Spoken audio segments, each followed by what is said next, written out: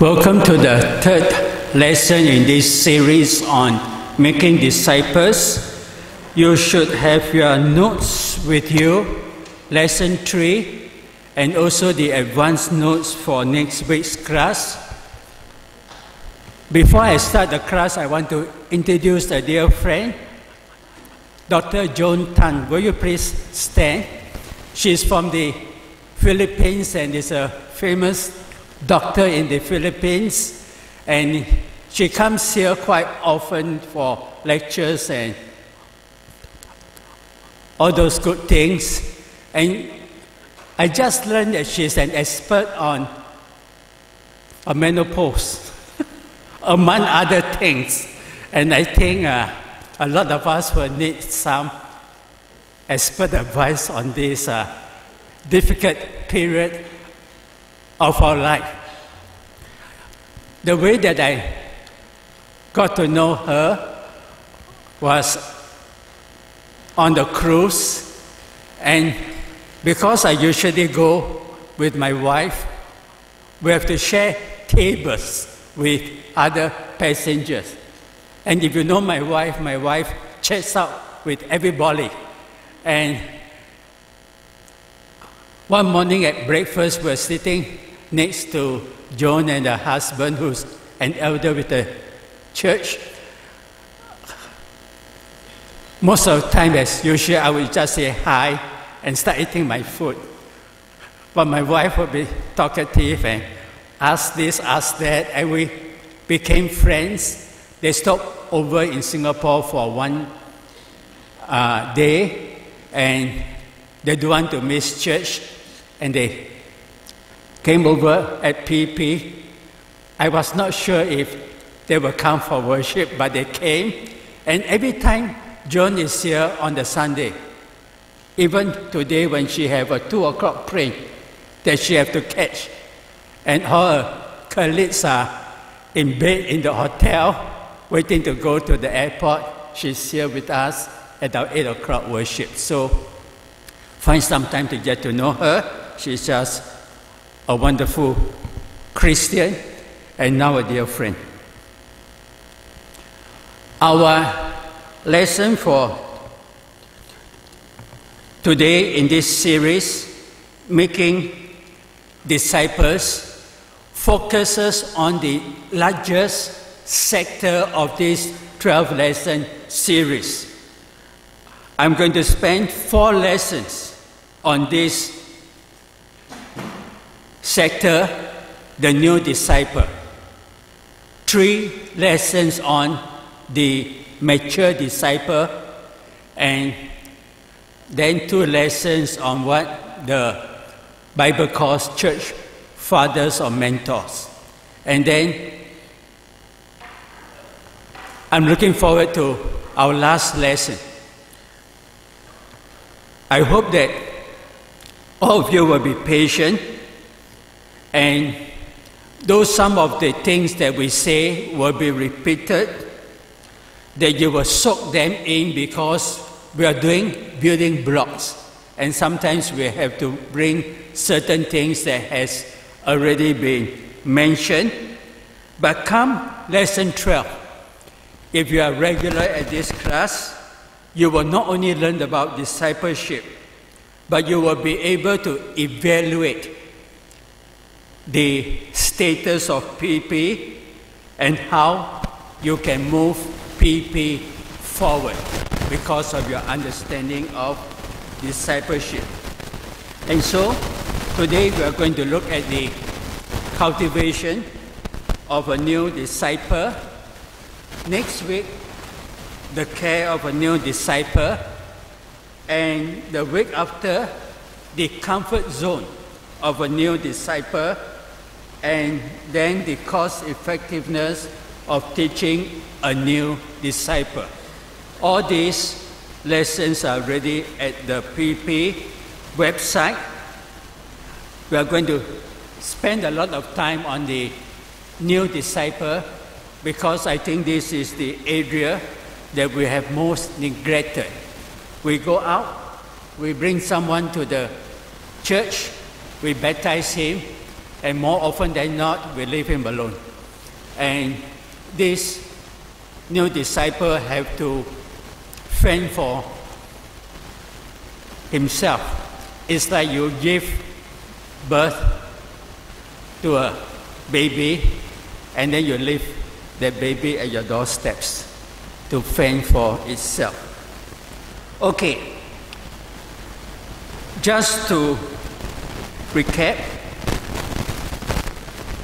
when you are baptized, you are added to the church, you become a disciple or a learner, and you need to move forward to become a teacher. Because in Greek, the word disciple actually means a teacher. And Christians were called disciples right from the beginning. And only later that the disciples were called Christians.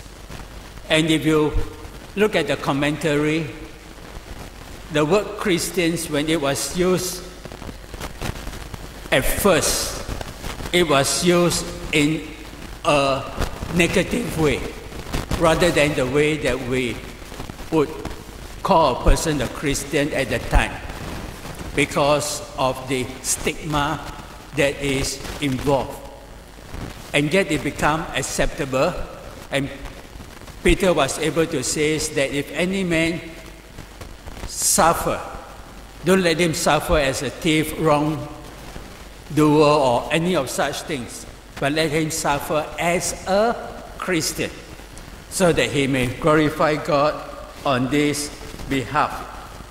And so everyone who have obeyed the gospel is baptized, added to the church, is a disciple, and the disciple is a Christian. And so a person cannot be a Christian and says, I am not a disciple. So let's look at the basis of a new disciple. Too often, because we have not proclaimed the full gospel of Jesus Christ, people become Christians thinking that there is nothing to it. And yet, the Bible says it's so important that when you become a disciple, that you have a singleness of mind, that there is a shift in your lifestyle. It is something that is life changing and not merely something by the way. Christ says in John chapter 8 that if you abide by my word, you are my disciples indeed. So a disciple is a learner. And to tell you how important it is for a disciple to learn, you just need to look at the Old Testament, how God taught the Jews to teach the children, and how the Word of God should be in their sitting and in their standing and in their walking. And especially when you think about new disciples who may come from a non Christian background or uh, another religion, and there is so much that these people not only need to unlearn, but need to learn to fill up the gap and the change of their faith. Basically, to be a disciple, we need to follow Jesus as our example. Sometimes you get people saying, call yourself a Christian. If this is Christianity, I don't want anything of it. And these people are judging human imitators of Christ, which is at best imperfect. And so it is very important that we keep on pointing to Jesus. Jesus is the one that you need to follow because people will fail and people will disappoint you. And Christ is our example. And so, salvation is free, but it is costly. it costs everything that you have. Once a person is baptized into Christ Jesus, is added to the church, he's already a Christian. There is no levels or stages. Moment that you are added to the church, you are already a Christian. But you could be a learner and not a teacher. And so at this point, you may be like those who are driving around with an L plate or with a triangle behind your car, and that you are not very firm in Christianity, but you're just learning the groups. But the span of remaining a disciple is time sensitive. And you can refer to a new disciple that is under probation or that he is under a period of grace. Because after a while, the Bible says that there is a time that you ought to be teachers and that you cannot stay driving around the roads of Singapore with a L plate all the time. Although I believe that some cars have that triangle at the back all the time. Because we see that after the Bible talks about disciples in Acts chapter 6, by the time you are in Acts chapter 8, there was a great persecution in the church, and the disciples were scattered all over the place outside Jerusalem. But verse 4 tells us they went everywhere preaching the word.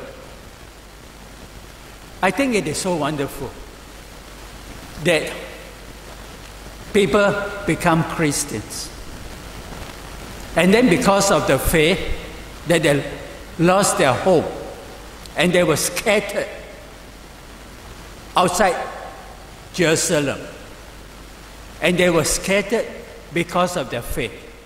And so everywhere they set up their home, temporary, semi permanent, or permanent.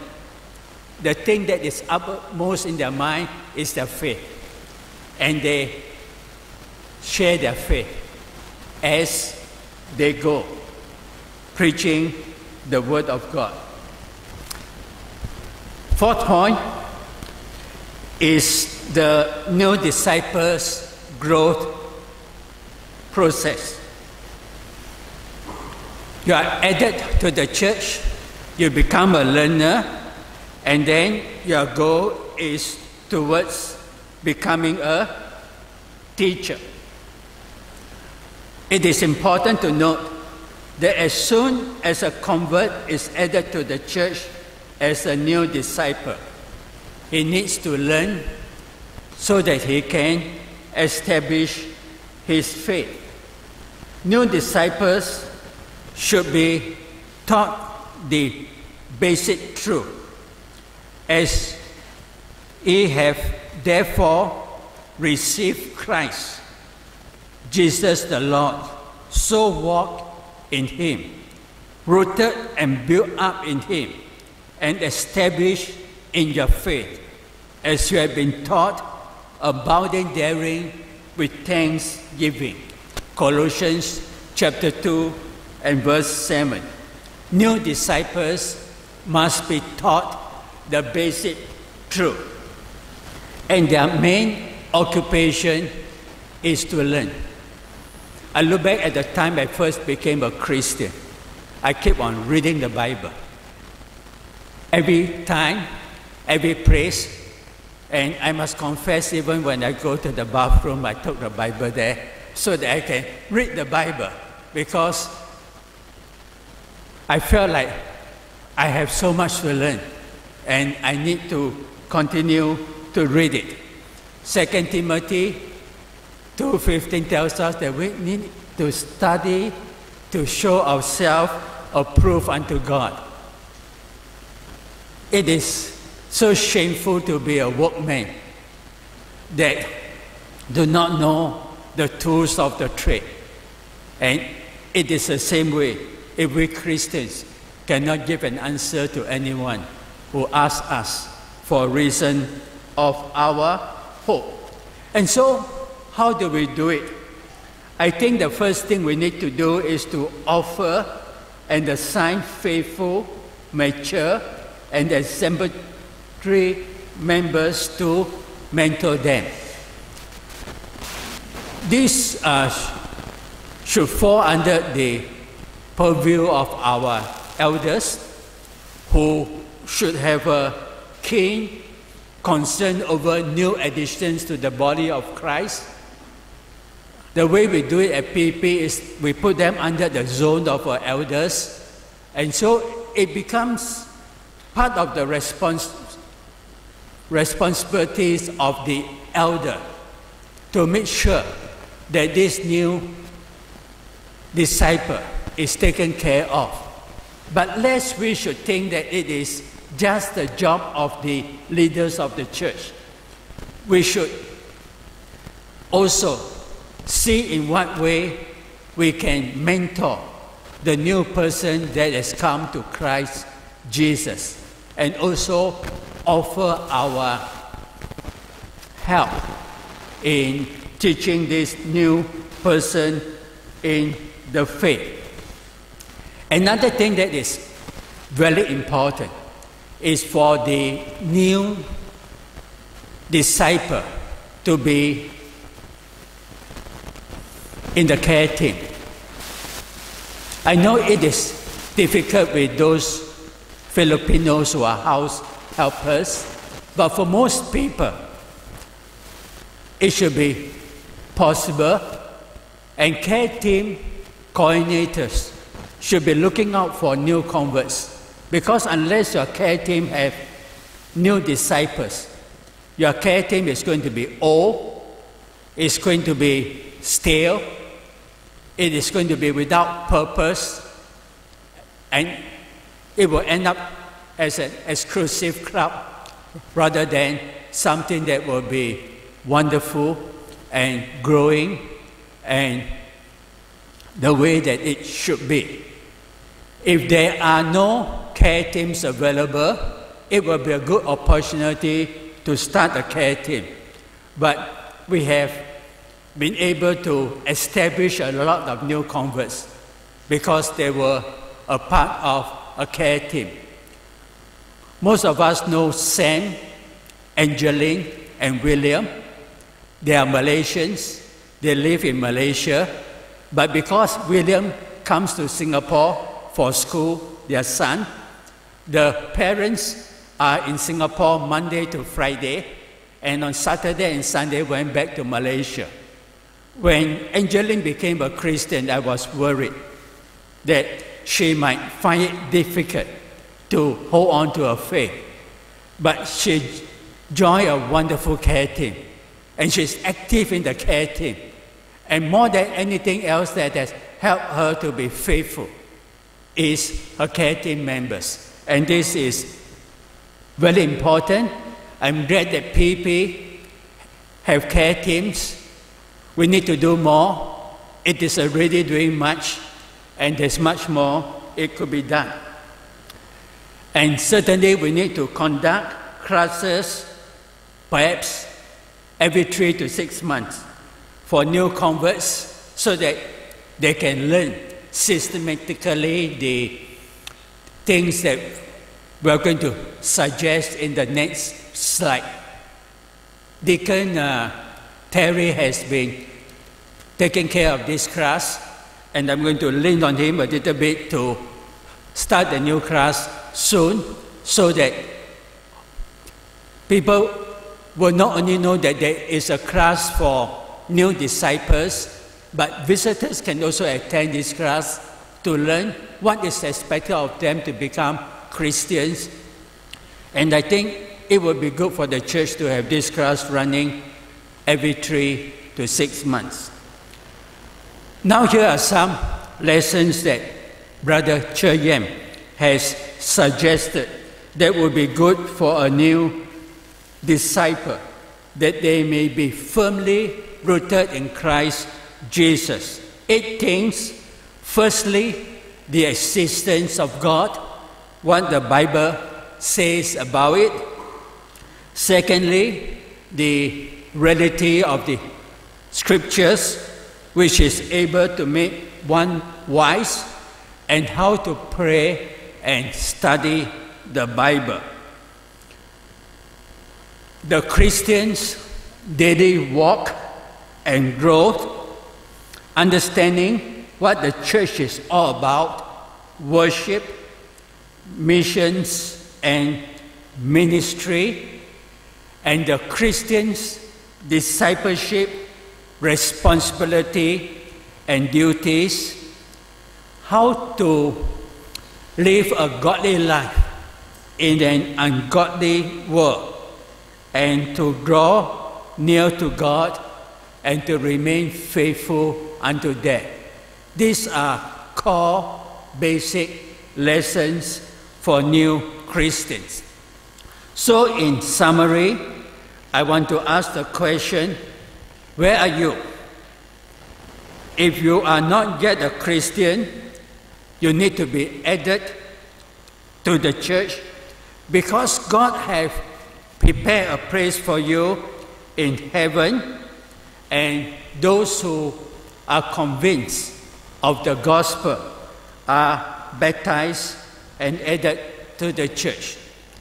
If you are a new disciple, then it is important for you to continue steadfastly learning the apostles' doctrine and then in fellowship as in the care team, in the breaking of bread as in regular worships, and in prayer as in your Christian walk.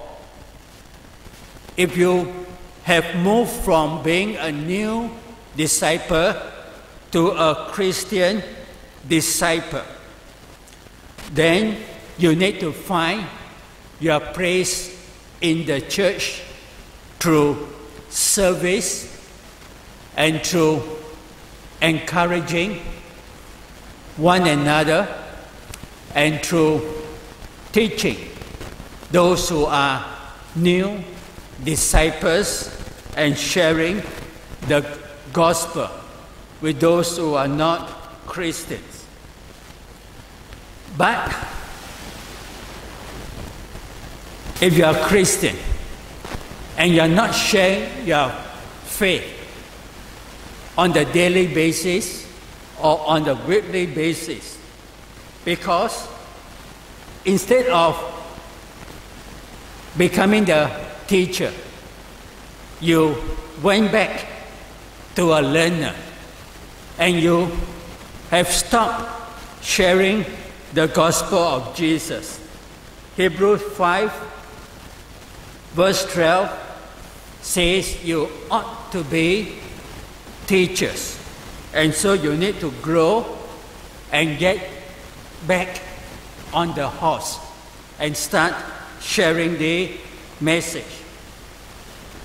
Growth of the church depends on every member reaching out with the gospel. It cannot be done by elders, it cannot be done by leaders, it cannot be done by care teams, full time workers, it cannot be done by some program of the church. But it has to be done by Christians going in their everyday activities, coming into contact with various ones, and taking the opportunity to share the gospel. I love Sister Fung Yong, who always find opportunity in her job as a nurse to pray with her patients and trying to share with them the gospel of Jesus Christ. And I would to God that we all do the same thing. You see, in Acts chapter 6, verse 7, the word of God increased and the number of disciples multiplied in Jerusalem greatly. It was not the elders, it was not some campaign or gospel meeting, but it is the disciples sharing the gospel of Jesus Christ. Okay, I want to uh, close by mentioning that last Sunday's sermon that I preached on the discipleship journey has been put on the CD with the text, PowerPoint, PowerPoint show. PowerPoint show is a video that focuses on the PowerPoint, automatically move and have audio commentary upon it. And if you like to have the DVD to copy to your handphone or your PC, you get it from Brother Patrick Ong, or you go to our website under the resources section for teaching. You will find available there the PowerPoint, the text, and the PowerPoint show that you can download at any time. And so this morning's discussion question what do you think is the missing link in our attempt to train Christians to disciple others? How can we as a church improve in this mission of making disciples? And then the second question the church needs Christians who will move beyond their small circle to minister to the whole church as their family. We also need members who have the initiative to follow up visitors, mentor new members, visit absentees in your group, discuss how this can be done. Please break up in your groups. When you finish, say a prayer and you are dismissed. And next week we'll go on to the second lesson on the new disciple, which is the caring of new disciples.